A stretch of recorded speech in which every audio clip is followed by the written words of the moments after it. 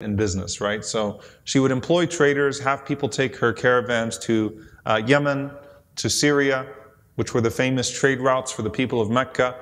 Business में काफ़ी अनुभव होने के बावजूद वह अक्सर धोखा खा रही थी वह व्यापारियों को काम पर रखती अपने कार्यवाहों को यमन और सीरिया जैसे प्रसिद्ध व्यापार मार्गों पर भेजती जो मक्का के व्यापारियों के लिए अहम थे and often they'd come up short. She knew she was being cheated, uh, and she was looking for an honest merchant that she could entrust with her wealth on those trade routes. So she herself actually never made the trip.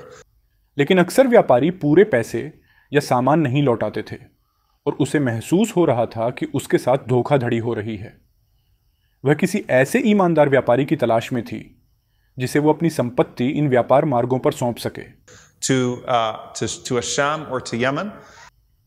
खुद उसने कभी शाम या Yemen की यात्रा नहीं की But she was looking for someone uh, that, she, that she could लेकिन उसे ऐसा व्यक्ति चाहिए था जिस पर वह भरोसा कर सके